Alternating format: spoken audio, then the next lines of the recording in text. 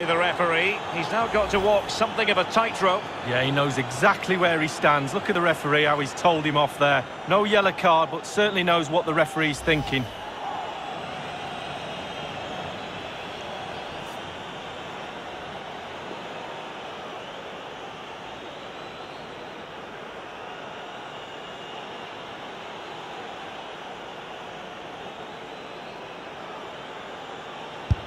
A goal! Calmly taken spot kick.